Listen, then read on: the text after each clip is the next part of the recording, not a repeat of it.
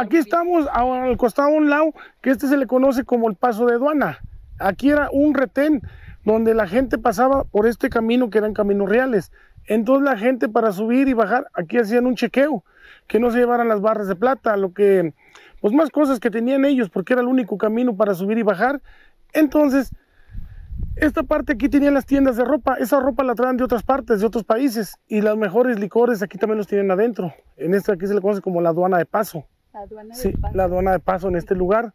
Y aquí se encuentra otro tiro como el que fuimos a ver a, ahorita donde venimos. Ese tiene 250 metros de profundidad. Y ese ya lo usamos como una pasar nada más. Eh, como de paso también nosotros pasamos para decirles a la gente qué qué era lo que era en este lugar. Excelente. Sí.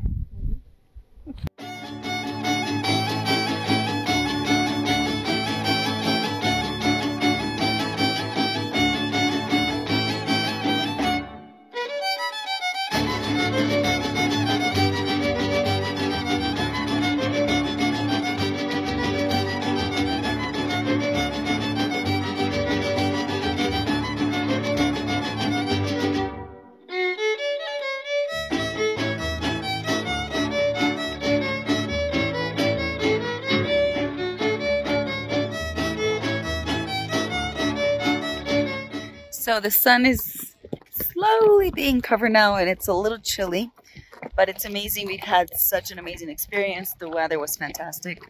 Um, Ghost Town, I definitely recommend it. I think um, if you like sceneries like these and you don't want to go too far, then um, you know Mexico's right around the corner, guys. well, that's if you're in the U.S., of course, or Canada. so um, let's see what else is waiting for us. Oh, we got some sun. Um, I don't know what's going on at night in this town, so we're just gonna have to find out. Maybe do some shopping. The food is amazing too. So um, yeah, we have a couple more days left. Hope you guys are enjoying the ride.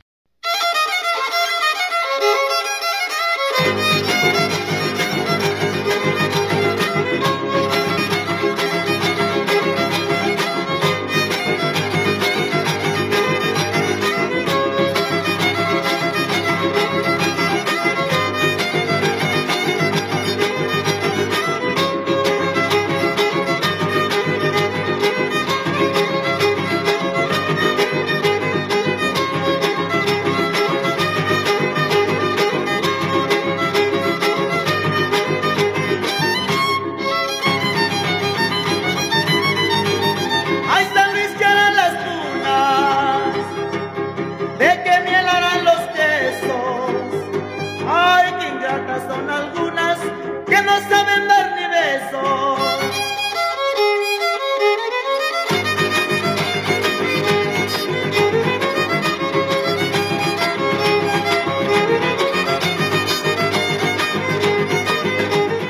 Pagaban como el peaje. Así es, pagaban el dinero que tiene que pagar. Ay, encima les cobraban a los que sacaban el material.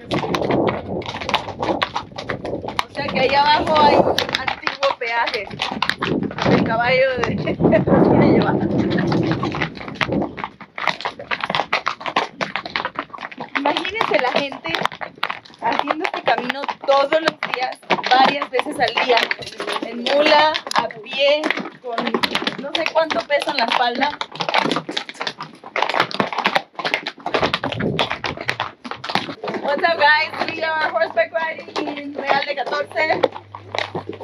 And my butt hurts.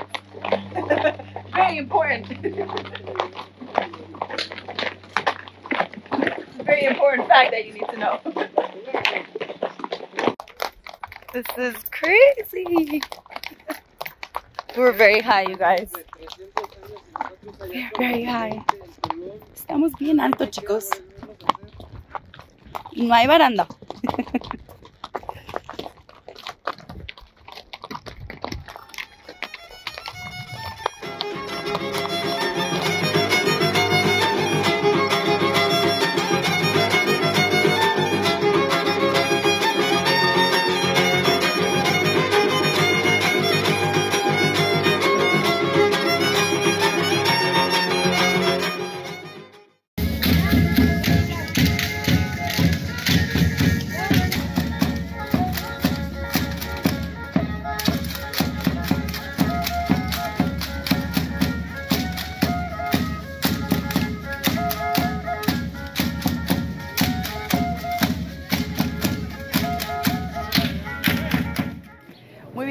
Vamos a seguir recorriendo este hermoso pueblo de Real de 14. Vamos a encontrarnos ahora con eh, la dueña de este hermoso hotel que nosotros vinimos aquí muy espontáneos y dijimos no vamos a reservar hotel y el primer hotel que caímos y menos mal porque es un museo adentro, ya lo van a ver, es justamente aquí Mesón de la Abundancia y Petra Puentes es eh, pues la encargada dueña, pero no te gusta que te digan dueña. ¿Cómo estás? Hola, ¿qué tal? Pues bienvenida, me da gusto que, que estés dándole tu energía hermosa a este espacio, a este Real de 14. Qué bonito. Sí, como te decía, en realidad dueño se oye un poco fuerte, ¿no? En Sí, realidad sí. yo creo que estos espacios los tenemos encargados de manera momentánea y no somos dueños de nada, somos dueños de nuestro ser, nada más. Entonces, somos dueños momentáneos y estos monumentos históricos en realidad nos pertenecen a todos, ¿eh? Sí, porque sí. están cargados de historia, estamos hablando desde 1750 más o menos que todo esto se empezó a edificar. Entonces te has de imaginar toda la energía que tiene estos lugares. Sí, Entonces, sí, sí. Pues- yo te digo la verdad, nosotros nos quedamos eh, en el cuarto del rey y yo dije, bueno, aquí esta noche algo va a aparecer, yo. pero no, resulta de que estaba muy tranquilo, sí, Sí. les debes hacer tus limpias, ¿no? Pues mira, como viene mucho holístico, Ajá. tienes razón, no falta el que me dice, oiga, que hay que darle ahí una pasadita. Ajá. Y claro que sí los dejamos, porque bueno, son energías viejas, son pueblos de mucha Claro. carga energética. Y de alguna manera, pues sí, sí hay, hay gente que es más sensible, ve cosas, Claro, siente sí, sí, cosas, sí. otra no, y Yo así. sí algo, pero nada así como alarmante, porque uno pensando en la historia de este lugar de Real de 14 y la, la- la esclavitud que hubo en esta zona, ¿no? Así es, así es. Pues sí, las almas suspendidas nunca faltan, pero bueno, ahí creo que el, el mexicano es muy creyente y hace mucho también para que eso se movilice. No, y también te puedo decir, Real de 14 no es un pueblito normal, también hay que ver eso. No me digas. Es un pueblito, miren, es un pueblito que eh, se considera un vórtice de energía fuerte. Ajá. Entonces, evidentemente, eso se percibe. Aparte, es un santuario religioso, no nada más viene la gente por el tema eh, cultural, arquitectónico, de la historia, sino también vienen por una parte religiosa profunda. Claro. Es un recinto sagrado para los huicholes. Entonces, pues hay una mezcla extraña que no es nomás un pueblo mágico normal. Claro. Lo entras por un túnel de 2 kilómetros, 300 metros para Sí, llegar sí, a sí. él. Y luego te das cuenta aquí, algo muy raro es que nuestro pueblo es el único en nuestro país que no tiene la plaza frente a la iglesia. Si te das cuenta, la plaza está dos cuadros adelante. Y en todo Ajá. nuestro amado país era la iglesia, la presidencia municipal y la plaza. Todo cerca. Ok. Y aquí no, ¿eh? No me- no es la primera rareza, primera rareza. ¿eh? Bueno, por algo será, por algo será. Pues A ver, tenían sus diseños, Ra. Es un pueblito que se mágico. construyó Sí, sí. aparte, ¿sabes? Ok. Cuéntame un poquito en el edificio donde está localizado tu hotel, eh, ¿qué era antes? Mira, este, esta Y esta hermosura muy es modesta, bueno, muy modesta fachada, porque en Ay, realidad si lo ves de afuera, es un pueblito que se ve, digo, es una fachadita que se ve modesta. Pero mira, estos, estas rejas, estas son originales. como- Eso sí que esto- no lo rompe nadie. Esto originalmente era la entrada a la tesorería porque aquí fue la tatarabuela de un banco. Es, es una estructura muy rudimentaria de lo que ahora son, pues de esto inició en los bancos. ¿eh? Esto era para pagar, cerraban esta puerta, obviamente estas no existían, cerraban eso, estaban estas que están aquí. Pasen. Si me prefieres cerrarle, eh, A ver. a ver, vamos a quitar esto. Vamos a ver. Mira, ¿Cómo lo hacían estas se cerraban, la reja de afuera se cerraba y aquí había un cajero pagando. Por eso se llamaba la tesorería en el año de 1863. ¿Por qué le ponían madera? Digo, lámina. Porque en aquellos tiempos una de las maneras de atacar era incendiando las puertas. Entonces, Oh, por eso muchas onda. puertas tienen lámina. Ah, Entonces, esa es la razón, ¿eh? Todo tiene su porqué. sí, sí, sí, sí. Y aparte, pues ya sabes que acá adentro todavía para conservarse más, si gustas pasarle, mira, le cerraban y todavía trancaban con un palito que va para allá también. Lado Aquí le ponían un, un- un palo fuerte, resistente, que en caso de quererte abrir, No pues, podían, se claro. tardaban un poco. Pero ¿qué crees que es aquello? Esta es una maravillosa torre de vigilancia antigua. Esos huequitos eran para hombres armados. Esos checaban, aquí esos checaban al cajero para que si lo atacaban o algo, pues ahí había un hombre armado. Protegían. Si entrabas corriendo y como que dices, ya entré a la tesorería con todo y todo, acá tenemos otro huequito que era para otro hombre armado para la gente que se pudiera venir para acá. Todo tiene su porqué. ¿Y esa pared estaba antes o la construyeron? No, esa pared ya estaba. Estaba. Aquí como era una casa habitación, la transformación que sufrió esta casa fue solamente en las puertas. Si te fijas, es una puerta cortada a la mitad, Sí. no es una puerta de casa. Sí, sí. Entonces, eso fue para la famosa tesorería. Nada más imagínate nuestro Real. En todo el amado país, lugares muy ricos, Real de 14, así de chiquito y de tan lejano, tan inhóspito, tuvo su propia casa de moneda. Eso Bueno, los acá sacaban el, el oro, la plata, ¿no? La plata y tenían sus propias acuñaciones, imagínate, estaban tremendos. Muy ricos. Entonces era muy, un pueblo muy rico, pero obviamente todo eso también causó problemas. Sí, Tú claro. sabes que la lana también trae a veces decadencia, excesos. Pues ahí se me volvieron locos nuestros antepasados. Pero bueno, Bueno, ¿dónde dejaron no? un vestigio arquitectónico maravilloso. Me encanta cómo lo tenés. Bueno. A ver, ¿estos son de antes también? ¿O Esto, ya- fíjate que cuando llegamos a esta casa, esta casa eh, originalmente en 1977 fue cuando se abrió originalmente porque se filmó aquí la película de Pedro Páramo. Fue la primera película que se filmó en 14.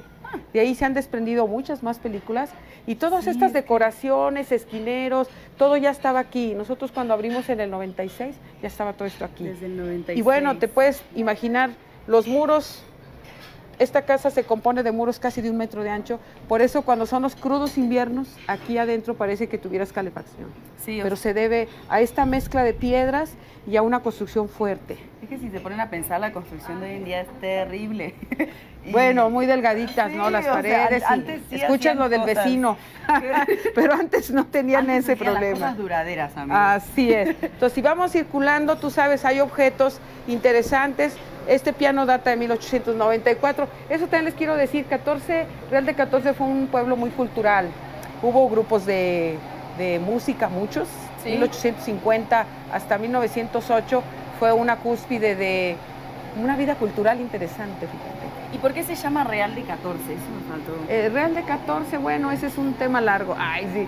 Miren, Real de 14 hay varias versiones, pero una de las que a mí me parecen más sólidas, aparte de leyendas que 14 bandidos, que Eso no sé es lo qué, que había escuchado yo una este, vez. hay una versión más oficial que dice que cuando traían la ruta de la plata los españoles que venían desde Zacatecas y colindamos con nosotros, este, mandaron, obviamente que es lógico, una avanzada de soldados españoles para ver cómo eran los naturales de aquí.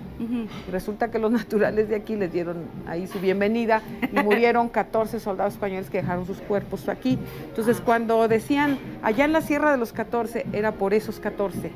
Entonces, eso fue antes de la fundación de 14. Entonces, cuando le dan el nombre ya oficial, le agregan 14. A Hay ver, otra ver, versión. ¿Qué? Es que, perdón, escuchamos música afuera. Ay, pues es que está Eso- padrísimo la, ver, la venga. pasada de las de los Es que sin hay, queriendo hay peregrinaciones, especial, ¿no? por supuesto, mira, hay peregrinaciones. Ese es el fervor religioso.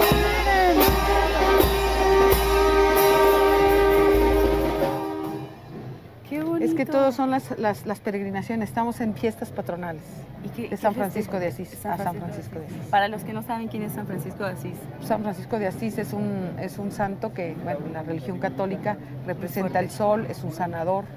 Entonces, por eso toda la gente. ¿Y las flores significan algo? Sí, sí, claro, todas ellas tienen que dejar una ofrenda en la iglesia. Ok. Entonces esa ofrenda se las recibe el padre. Esta es una peregrinación de algún lugar en particular de México, que lo ahorita va muy sencilla, ¿eh? Hay Sí. quienes llevan danzas más espectaculares. ¡Qué bonito! Y es ahorita solo la- la- Mira, mira mi piel. Claro, eso piel es, una tradición de nuestro amado México, muy arraigada y muy, la cola. muy- y obviamente llevan su, su ofrendita, puede ser un ramo de flores o puede ser una vela, y ya la dejan ahí. Y toda esta gente pues viene exclusivamente a la iglesia. ¡Qué bonito! Me encanta. Bueno, continuamos. Por eso entonces. estamos aquí, mira, estas decoraciones ahorita son momentáneas, solo son por el mes de octubre y se ponen todos los animalitos porque San Francisco de Asís fue el primer ecologista en el mundo, ¿eh? Dicen que los animales, ¿no? Exacto, y él era una conexión con los animales y él explicaba que la vida es un todo, nosotros estamos conectados con los animales y las plantas. ¡Qué Entonces es el primer ecologista de, del mundo, por eso ahorita es el patrono de los ecologistas, San Francisco de Asís. No, esto, enamorada Por eso. de esto. Sí. Bueno, chicos, continuemos adentro, a ver. Qué fascinante. Y aquí lo tienen por si no lo vieron antes. Sí, aquí está San Francisco de Asís, que también, mira, la imagen ahorita de él, aquí está paradito con un- una cosa en las manos que tiene pajaritos y así, Ay, pero sí. en realidad la imagen original que está en la iglesia es muy atípica, porque está sentado y coronado. Por eso, es un por eso es la representación de Francisco de Asís muy especial, muy atípica y tiene miles, miles, miles de peregrinos, porque normalmente en todo nuestro país así se presenta la imagen de Panchito, pero aquí está para, eh, sentado y coronado. Así está más sencillo, ¿no? Sí, así está Sí, más sencillo, pero, animales. pero acá, Claro, por eso tiene su su, fervor. Tú sabes Sí, que lo raro la gente siempre le Sí, ve sí, sí, fervor. sí, sí, sí. Así es. Es increíble el mantenimiento que tienes que tener, Ay, ¿no? así- También para es. mantener todo esto tan impecable porque Así no, es. no le han pasado Todas los estas años. son, mira, eh, eh, eh, este, ¿cómo se llama? Eh, rejas, originales. sería. Y te diré que cuando fue el abandono de 14, que estamos hablando, su decadencia empezó desde 1908 hasta, hasta el 70. Hubo mucho saqueo de este tipo de materiales porque venían a venderlo como fierro viejo, Lo imagínate. funden, ¿no? Y lo fundían para las guerras mundiales. Alguien me dijo de que le- había un ferrocarril que venía hasta no sé dónde y sacaron las vías. Puede ser en San Luis- cerca de San Luis Potosí, ¿fue así? Eh, pues todas las desmantelaron, ya sabes, todas las vías las desmantelaron, que Eso- obviamente Eso solo poco en difícil, es solo en México. en Eso es, eso es un crimen, eh, en realidad. ¡Qué locura! Es una locura. Y luego en Tulum vemos hoteles con... parte Con de- todos los durmientes Sí. del tren. Ay, Dios. Y uno dice, ¿de dónde vendrán esos durmientes? Así es, así es. Al bajar. Mira, aquí en esta parte de la casa, eh, originalmente toda esta sección que ahorita son habitaciones, eh, eran donde se guardaban las bodegas del dinero. Acuérdate que en aquellos años, imagínense ustedes, había 5 mil mineros o una cantidad enorme de mineros que obviamente había asaltantes. Sí, Entonces por eso crearon la tesorería, guardaban el dinero aquí y aquí le pagaban a los mineros. Entonces, la persona de, de arriba, tú venías y decías, quiero tanto de mi cuenta. Y acá guardaban, y acá guardaban todas las cajas del dinero. Acuérdate que era puro dinero en monedas de 8 reales de plata, cuartillas, todo eran así. Se huele hasta... sí, sí un poco antiguo. al- Ajá. sí. Todo esto, Ay, mira, ¿y esto qué es? este, fíjate, este es un artefacto curioso. Este era la parte que lleva abajo una carreta, que Ajá. aquí había muchas diligencias. Sí, sí. Es la que, la que hace hacia un lado, hacia la derecha, hacia la izquierda, es la que lleva el eje abajo. de Con los burros, ¿no? Y esta es original, esta es, esta es muy, muy, muy, muy antigua. Es increíble cómo la Sí. madera está intacta. Entonces todos estos eh, sótanos ahora son habitaciones, que pues sí, la gente tiene que tener nervios de acero para hospedarse aquí. Ay, si no te creas. No, no, ya con que- 25 años de estar aquí, bueno, hemos limpiado. Te diré que antes sí estaba pesada la energía. ¿eh? Sí. ¿Cómo no? Había muchas leyendas aquí de la gente que dormía en este hotel al principio, hace 25 años. Nos contaban tantas cosas. Pero sí, es y bueno, y quité una cantidad de máscaras raras que había aquí, que todavía impresionaban más. No, no soy fanática de las máscaras. No, las máscaras No, están no. horribles. eh. Entonces Ay. se veían, aquí era una cantidad llena de máscaras y nosotros así como, no, no, se veían horribles. sí. Bueno, para comenzar que los fie- todo lo que es metálico o fierro absorbe energía, entonces Claro. imagínate todo lo que es antiguo, hay gente que a veces lo tiene en las casas. Ay, Yo digo, no, intenten no tener cosas antiguas en las casas, pero bueno, ya si ustedes saben y le van haciendo como su Sí, limpieza le- y las todo, hacemos su limpieza no a todas las, a todas las, eh, las antigüedades les hemos hecho su limpieza. Sí, sí. Obviamente Real de 14 como es un sitio que te decía, es un sitio de visita también de mucha gente holística. Sí. Sabes que el quemado atrae el desierto. Sí, sí, sí, sí. Atrae gente que viene a cuestiones espirituales, pues siempre se ofrecen a darnos como esas Claro. ayudas y bueno, nos dejamos querer. Sí, sí. Al frente cuando entramos había, vamos para afuera que hay un poquito más de luz. Bueno, entonces cada uno de estos cuartos era Eran una bodegas, bóveda, eran una- bodegas, ajá. así es, eran bodegas. Y hoy en día se pueden ahora son ahí. habitaciones. Al frente cuando entrábamos eh, decía Real de 14 Centro Espiritual o Centro... ¿Cómo, cómo decía el cartel? Patrimonio espiritual de Patrimonio Espiritual. México. Sí. Por, porque por todo eso que me dices de la energía. Eh, sí, porque miren, realmente, en- fíjate, yo me di cuenta, bueno, la gente de Real de 14, hemos sabido eso por nuestros visitantes, pero algo que ya vimos más tangible y real, fíjate que en el 2008 tuvimos la visita de los tibetanos, Ah, mira. interesante, con ¿Monjes? los huicholes, sí, con los huicholes. Qué lindo. Fue muy cerrada la... la- Sí, claro, no se puede. Eran 300 holísticos de todo el mundo, que fueron así como en fila En india hasta la... 2014, esto fue antes que los... No, en el 2008. Ah, el 2008, porque en el 2013 sabes que muchos los... Sí, eso Sí. fue en el 2008 y ellos vinieron a anunciar a los huicholes, fíjate algo muy interesante, que la energía, nosotros formamos un paralelo de energía con el Tíbet y que ahora el despertar y la energía y el poder, los sitios de poder vienen hacia Latinoamérica. Mira, Y, Sí mira, y mira que ahorita algunas cosas están pasando y efectivamente a lo mejor el gran despertar nos toca a nosotros en Latinoamérica. Yo creo que Este- México en particular, eh, bueno, yo vivía en Miami y ahora me opté por Tulum y México yo creo que tiene, en todo este movimiento energético que está habiendo, algo muy, muy, muy fuerte, repartido quizás por diferentes partes de México, debajo hasta de la tierra, te diría. Así es, Es México increíble. es un portal grande. Real de 14, esa vez vinieron esos tibetanos que me tocó a mí verlos y eso dijeron, la- ahora todo el poder energético viene hacia acá Les toca a ustedes. y les toca a ustedes. eh, ustedes forman un paralelo energía con el Tíbet. Por eso Real de 14 pues tiene, pues, tiene ciertas particularidades, no Sí, es un sitio tan así normal, ¿no? Sí, no, Mucha gente que es perceptiva, holística, pues vienen, pero este, pues ojalá y que todo este movimiento del mundo que ahorita está viéndose, pues eh, está viendo cambios interesantes. De a poquito, Creo que sí, seguro. así es. ¿Me ibas a contar algo de esa Ah, puerta? bueno, Uy, esta, mira, esta, esta no la había visto. esta es una puerta original, este, que ya la dejamos aquí como reserva. Este que está aquí, este se le llama crisol. Fíjate, este era para fundir plata, es un, e- era Oh. original. Esto tiene estas a los lados de dos personas y esto aquí era para fundir la plata, se llamaba crisol. Esta es una puerta original. Este edificio, acuérdate que data desde 1760 más o menos y aquí la dejamos ya como, 700. pues sí, Sí, como una sí, reliquia Sí, sí. en la puertita y ahí hacemos el acceso Y acá me imagino que era donde Este traían acceso, de las este minas, ¿no? acceso, eh, sí, traían ellos ahí, pero fíjate, ahorita es el acceso de entrada. Aquí esto, los artistas, cuando hemos hospedado artistas, este es un acceso secreto para salir. no en la entrada Por aquí principal. salimos nosotros, por aquí chicos. salen acá cuando hemos dejado, por aquí cuando estuvo la película de Brad Pitt, él salía siempre por aquí. Sí. Porque aquí pegas el vehículo, Claro, la camioneta y adiós. O sea, ya no había está. manera de que no sé qué. Entonces, esta es una salida alterna para, Bueno. para visitantes curiosos, ¿verdad?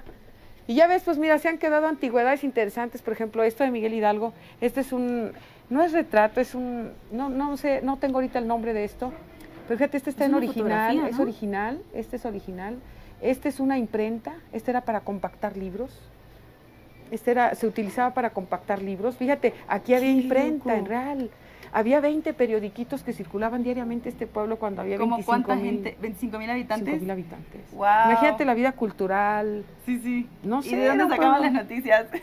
Bueno, ¿Qué pasó sacaban chismes de, sacaban chismes de, ellos tenían unos, unos periodiquitos que más bien hablaban de música, por eso había tanto grupo Ah. musical. Había otros que hablaban de moda, había otros que hablaban de minería, avances técnicas de minería, y otros pues de chismes de la localidad. claro. que si O sea que nada ha cambiado. nada ha cambiado. Eso sí, Entonces, igual. este, este es un filtro de agua. Fíjate, estos se Mira. utilizaban, este se utilizaba antiguamente para poner el agua aquí, ponías una jarrita abajo y era la manera como filtraban las abuelas el agua. ¿Lo has probado? Sí, lo he probado, ¿Sí? ¿Y funciona. qué tal? ¿Sí funciona? Claro que ¿Por qué es no lento, es lento, fíjate, puedes ponerle la jarrita y es la manera más genuina de tomar agua pura en ¿Y realidad. la piedra, sabes qué piedra es? Es, esta piedra es una piedra porosa especial para eso, so- se les Claro. llaman piedras filtro. Qué inter- mira, es Está que interesante. Hay no muchas necesitaban tanta cositas. tecnología como nosotros hoy. Así es, no necesitaban tanta tecnología como nosotros. Claro, ahorita el problema es la gran cantidad de población, ¿no? Claro, sí, Yo sí. creo que ese, es- ese es uno de los... ¿Estas lámparas también son originales? Sí, este cantil es original también, Wow. ya anda muy apenitas. Este sí ya lo tenemos que tener así parado casi como, Sí. como de ya estate Mírame allí. y no me toques. Mírame y no me toques. Este sí ya anda un poco ¿Vieron el este, televisor? ¿El deteriorado. televisor también estaba? No, ese sí lo trajiste, Ese ¿no? televisión lo traje, ese me lo ofrecieron hace poco tiempo y lo Está traje. Está hermoso, fíjate, ese sí. Las estufitas estas sí estaban aquí, ¿eh? Fíjate, la estufa más antigua es aquella. Esa era la austera. Esas eran las estufitas muy sí antiguas. Y esta ya son las modernas. Esto era ya cuando las amas de casa decían, wow, estamos en la modernidad. Claro. Pero la original es Aquí aquella. ponías la leña, ¿no? A ver. Sí, esta es la original, sencillita, sencillita. Mira, no tenía color. Obviamente le ponías la leñita y todo, y acá tus, tus, tus estas. Pero esta sí es original, original. Ya cuando empezaron más modernas, pues ya hasta le metieron color y Claro. ya sabes un poco más. Esto, imagínate, dura una vida. O No, sea, hoy en día, a lo mismo, tenés un horno y Sí, ya los ves en la calle tirados, ¿no? así es, así es. ¿Y arriba qué había? Arriba, este, nosotros arreglamos porque eran como do- tres lugares que no estaban, este, terminados, como eran inconclusos. Mira estos muebles, estos muebles originalmente, fíjate qué curioso. Todos estos muebles son de la clase media baja de 14. Todo lo que eran los muebles de la clase alta se desaparecieron. Pero vi en los cuartos que tienen muebles con una madera. Ah, no, sí, hay Wow. algunos todavía originales. Sí, sí. Y fíjate, estos si los ves de lado, se ven borduditos los, Sí. los vídeos porque eran de los que se hacían a mano, Ajá. 1895. Por eso cuando me veía en el espejo hace un ratito como Sí, que... se ve, se ve de lado, esos se hacían a mano, fíjense. Es- son interesantes estos muebles, porque y eran los austeros muebles de la gente de clase media baja, imagínate. Mira vos, o sea que imagínense los de la alta. Sí, así es. Y ya volvemos acá a nuestro bien. lobby. Acá tenemos todavía también una colección de fotografías de, de- de Real de 14 y algunas interesantes. Mira, esta es una reja original. ¿Sí? Mira, por ejemplo, esta fotografía a mí se me hace muy interesante porque esta fue cuando los catorceños ya metieron eléctrico el tranvía por el túnel de Ogarrio. ¿Hay luz aquí? ¿Sí claro que sí. No, y para que sepan, estamos, el clima está hermoso. A mí me dijeron va a ser mucho frío. En la mañana sí está frío, pero aquí adentro se siente espectacular. estamos- Mira, son fotografías de los empresarios de 14. No, te puedes dar cuenta del Esa es nivel. la tesorería antes. No, Eh, sí. eh, esta, esta no, esta es, un- esta es una afuera de una mina, en Dolores Ok. Chompeta de aquel lado. Y se ven los empresarios vestimentas y todo, te das cuenta mucho el nivel que sí, hacían, sí. cómo andaban. Y aquí ya dieron luz verde al tranvía eléctrico. Imagínate nuestro túnel de Hogario, yo exhorto a quien haga una propuesta al gobierno. El tranvía, el, el túnel de Hogario originalmente pasaba un tranvía vía corta. Hmm, Imagínate tú qué belleza sería volver a poner el tranvía en 14. Qué hermoso. Eso pasaba por el túnel donde entramos. Claro, era, era la máquina eléctrica del tranvía y se tomaron su foto. ¿Y cuánta gente entraba ahí? No, hombre, era Cinco, mucho, pero el ¿sí? problema de ellos es que esas tecnologías y todo eso ya lo aplicaron en el ocaso económico de 14. Ya, o era cuando ya venía la muerte casi económica de 14, Ah. fue cuando intentaron hacer todo eso y ya vino la decadencia. Ya no Eh, se pudo hacer más. Me- no sé si está correcto en lo que me dijeron, que supuestamente esta parte iba a ser como la capital o algo así. Así es, originalmente se había previsto, porque las casas y toda la opulencia económica que tenía 14 apuntaba a que podía ser la capital del estado. Y se quedó pero sin agua. No. se quedó sin agua. O sea, es, se inundaron las minas y empezó la decadencia económica. Wow. Y 14 solamente puede sostenerse pues de la actividad ¿Y minera ahora en cómo aquel estamos tiempo. con el agua? Y ahorita el agua pues está batallando muchísimo, Sí. pero en realidad ¿sabes qué es el problema ahorita? Que hay una como hay una actividad turística muy pujante, muy muy buena, lo que debe hacer la autoridad mucho de pensar es, tú sabes que en México eso no tenemos, pensar a 30 años o 40 es nuestra debilidad. Nosotros pensamos en lo inmediato, Sí. resolvemos sí, en lo inmediato. Entonces el problema del agua aquí ha sido de 30 años el mismo y lo único que se tiene es que tratar de captar bien el agua, Ujú. tenerla muy bien guardada y, Claro. y es de manantial aparte. Es de manantial. de Nosotros- abajo no hay. No, no, de pozo no. Nosotros es puro manantial. Pero esto ha sido baja- falta de visión nada más, eh, en realidad. Y ahí atrás tenemos. Ay, bodas. sí, algunas novias de 14, pero estas ya eran ya de 1915, otras un poco más atrás. Mira esta foto. Todo esto estaba aquí. Todos estos son catorceñas y estaban aquí en foto chiquita, que les hicimos algunas réplicas. Mira, y aquella la dejamos más o menos intacta. Pero son personas de Real de 14, fíjate, todas estas. Qué hermoso. No, no, sí tenían su opulencia. Muy bien. Bueno, pues muy chicos, bien. eh, Petra, no sé si queda más para mostrar. Pues no, aquí de la casa esta no, no tanto. Luego, este, luego te voy a mostrar pues los sótanos en otro viaje que hagas. Eh, Es un gusto. No sé cómo agradecerte. eh, No, hombre. Te pasaste. Dijimos 15 minutos y no sé si No, hombre, pero lleva tu luz, lleva tu espontaneidad, eres Gracias. maravillosa y, y, este y así tenemos que estar conectados todos. Te agradezco mucho. No, hombre, pues un placer, un placer y un gusto y saludarlos. Bueno chicos, espero que hayan eh, disfrutado esto así como yo. Mucha historia aquí, creo que eh, sí, sí les recomiendo. Como les dije, nosotros vinimos muy espontáneamente, pero algo nos trajo aquí y ya veremos qué más eh, está para nosotros en esta aventura. Sigan viendo Miami TV. Un besito.